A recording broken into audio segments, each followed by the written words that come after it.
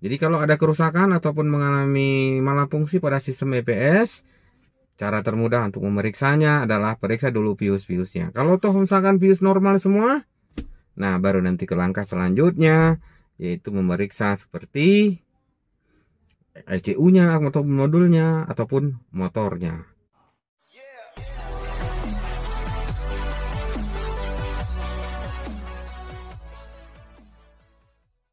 Salam otomotif, kembali di channel Jul Indo Auto. Kali ini ingin kami berbagi cerita tentang fuse ataupun sekring. Sekring yang digunakan pada rangkaian EPS, yaitu Electronic Power Steering, untuk unit kendaraan New Avanza. Jadi, kami berbagi cerita ini karena mungkin siapa tahu ya, tiba-tiba misalkan yang punya kendaraan kok jadi keras setirnya pas diputar keras setirnya. Apa gerangan? Mungkin dengan video ini bisa membantu. Nah fuse mana yang harus diperiksa? Nah di sini kami coba berbagi cerita. Dan kami akan kupas berdasarkan wiring diagramnya yang digunakan untuk mobil unit New Avanza. Sebelum kami lanjut jangan lupa seperti biasa subscribe channel Julindo Auto like juga video ini.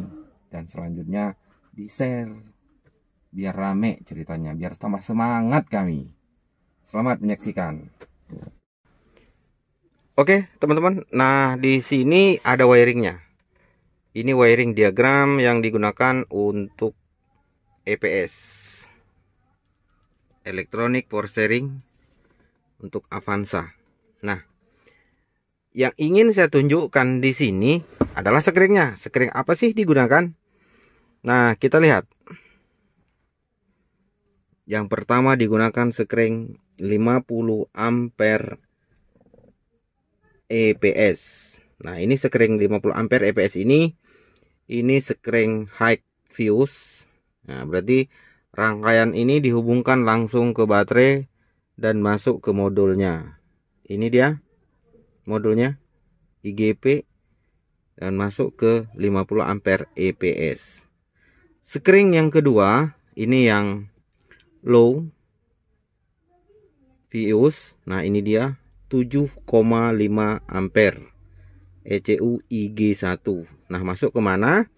Masuk juga dia ke modulnya. Nah, ini dia ECU IG1 ini melewati kunci kontak. Nah, berarti fuse-nya di mana nanti akan saya tunjukkan. Nah, ya. Berarti sudah ada dua fuse yang digunakan. Dan selanjutnya ada lagi nih satu lagi fuse-nya. Fuse mana? ECU IG2 10 ampere. Nah, ECU IG2 10 ampere ini digunakan ke mana? Nah, digunakan ke lampu EPS ya, lampu EPS yang ada di combination meter. Nah, dan ini kalau kita lihat di wiringnya dan ini ada modul-modulnya ya. Ada ini apa yang namanya? Power steering motor motor power steering. Ini ada sensornya ya torgu sensor. Power steering torgu sensor. Nah ini dia wiringnya.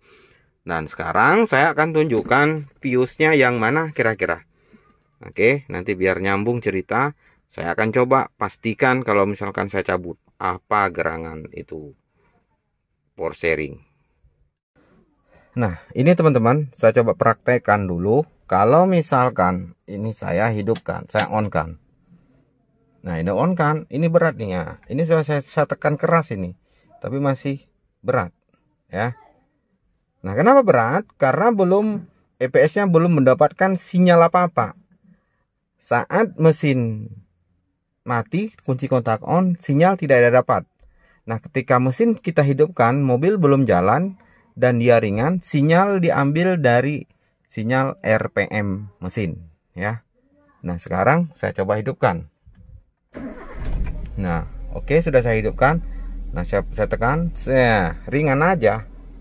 Ringan aja dia berputar. Nah, ringan aja berputar.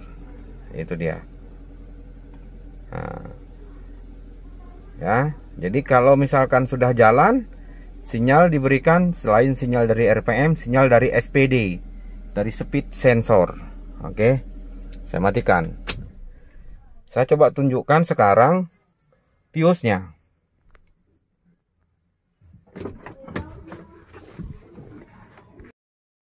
Nah, tadi di wiring kita lihat ada fuse ECU IG1. Nah, di sini ECU IG1 ya, di dalam box fuse di bawah setir. ECU IG1 yang mana nah ini dia ECU IG1 7,5 ampere. Kalau kita lihat ke box screennya yang mana? Nah ini dia ya. ECU IG1 123 nah inilah ECU IG1 nah coba kita cabut dan kita tes apakah nah power bekerja. Oke. okay. Ini teman-teman ya saya coba cabut. Saya cabut ECU IG satunya. Nah udah. Saya cabut. Sekarang kita coba tes ke power steeringnya apakah berat ataupun tidak ya?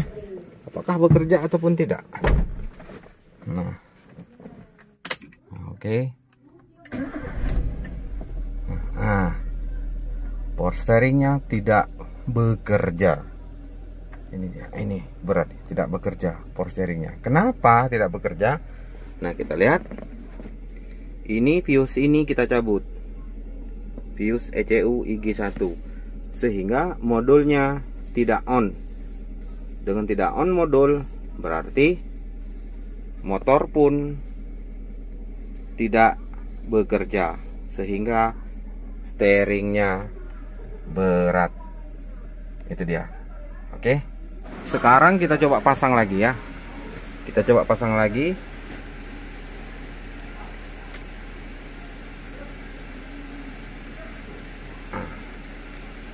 Sudah dipasang lagi. Kita tes ke steeringnya bagaimana. Nah, langsung ringan teman-teman ya. Langsung ringan ya. Nah, langsung ringan steeringnya ketika sudah kita pasang. Itu dia Nah untuk fuse yang 50 ampere EPS ada di box fuse bagian depan. Nah ini dia ya. Saya coba tunjukkan yang mana fuse-nya. Nah ini kalau kita lihat di covernya.